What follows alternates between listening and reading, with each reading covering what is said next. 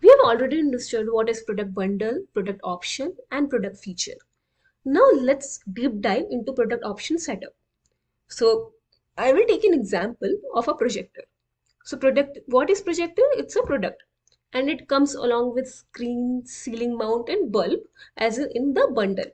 So basically screen, ceiling mount or bulb, they can be sold individually. For example, if it is broken in the projector, screen can come individually as well. But like when we are talking of projector, it will be coming in the bundle. So these becomes product options. So we will set it up and see how exactly it works.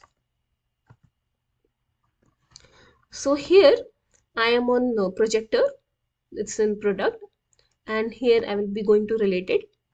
In that I will be going to options, click on new. In the optional SKU, I will be putting screen. I will putting number. Number is nothing but the sort as in what should come first in the screen, what should come last. So that is the number. Selected means that it will be like a pre-guided thing for the uh, salesperson that okay it is being like this is should be there as in selected required means the screen is required right if we are going with projector and like quantity for example we are putting as one so this is how we will be able to select it. Now click on save and new projector ceiling mount. Now let's put number as 20 so it is uh, the best, best practice is like you put space between numbers so that if there is another option being added in between you can easily add that. Then let, let's not make it selected. Let's not make it required. Um, let's make it quantity as 2 just for learning purpose and click on save on new. And the third option is projector bulb. And we put number as 30 and we put as editable. Let's see what happens. Now we have three options. Let me open it side by side so that we can see what exactly is happening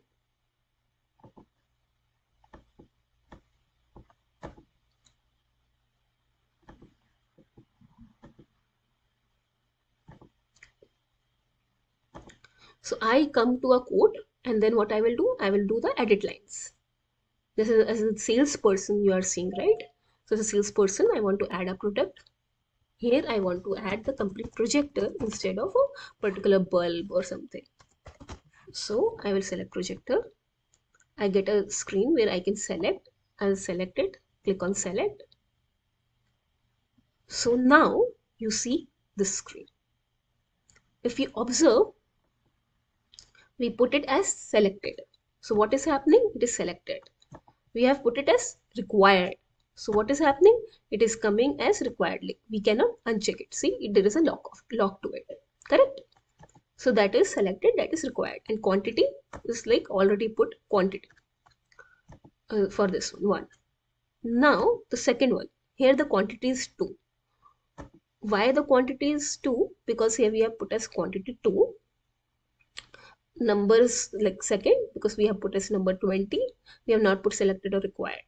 But if you observe i'm not able to edit it. Why? The reason because either i have to put quantity or i put quantity editable. Like for example if i put quantity as uh, editable and click on save and then i need to refresh here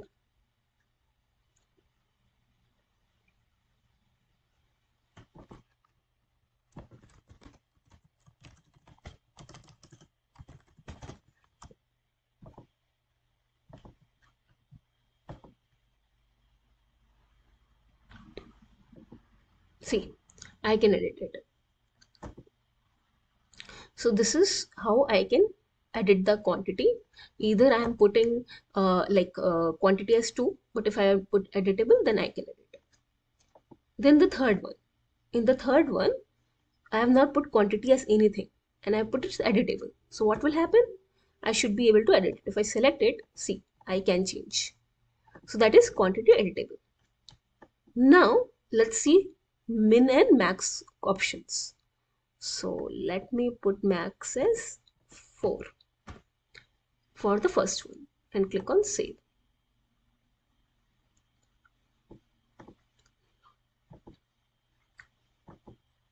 So I have removed the required and I have put max quantity as 4 and now I have saved it.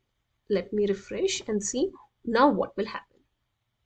The fields in the CPQ are very important because they help in the configuration.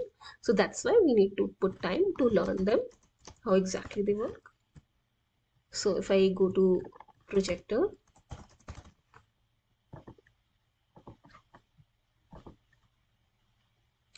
so here, me, okay, I can't even edit it.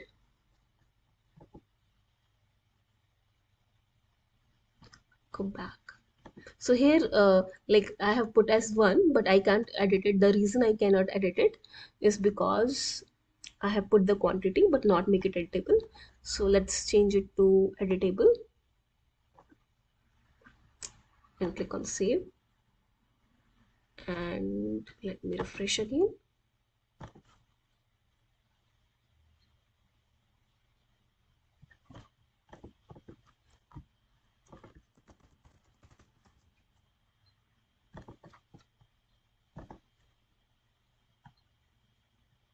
okay.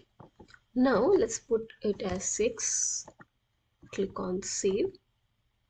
See it is saying you have exceeded the maximum quality quantity of projector screen because we have max put as 4 so that is the use of max quantity. So these are some of the important fields which we need to know. So we have got to know uh, optional SKU number selected required quantity quantity editable min quantity max quantity. Then we have something called quote line visibility. This is our quote line visibility. In the quote line visibility we have always editor only document and never so what will happen if you put as document only for that product option for example for projector screen then it will only come in the quote document. As in once you generate the document it will be coming there. What is like generate document? So once you do everything there is an option of generate document in the quote. So once you are for example let me go to a particular quote.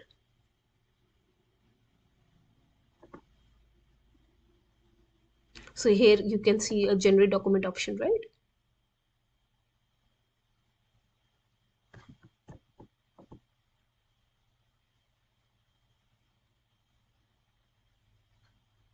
so once the document is being generated in that so this is an example so once the document is being generated what will happen? That only in then you can see the screen or product option where you have checked that as that document only. Editor only means like it will be showing in the quote line editor but not in the document. Never means it will be never shown. Like for example we don't want salesperson to worry about it. Uh, so it will never be shown in editor or document always means in the editor and also in the uh, document it will be shown. So what it is this is how we are able to select quote line visibility. So by default it is not selected. So we should be able to see in both. Like if even if it is like blank or it is always we should be able to see in both. So that is product option and some of the important fields